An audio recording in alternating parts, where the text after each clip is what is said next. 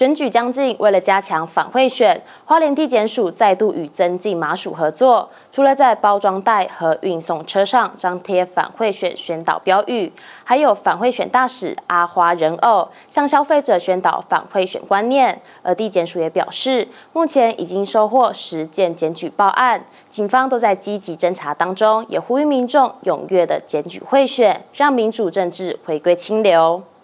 加强反贿选，花莲地检署继和药师界合作之后，今年再度与知名伴手礼业者生技麻薯合作，扩大宣导层面。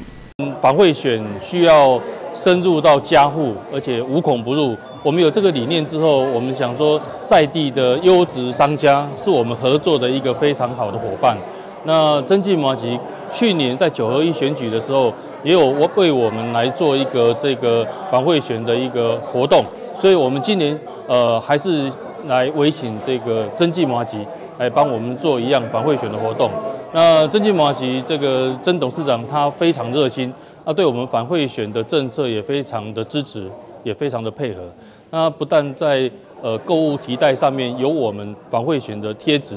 啊，甚至在这个呃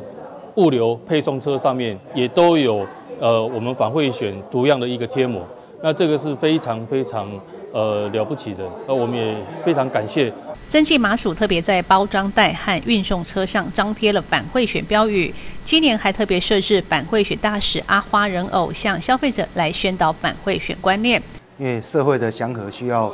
我们选出来的人是干干净净的，很愿意为我们付出的，而不是他有另有企图，用钱去买，或者是用暴力威胁去达到他的目的。选到他的一个职位之后，做他的事情，所以我们宣传反暴力、反贿选，这个是让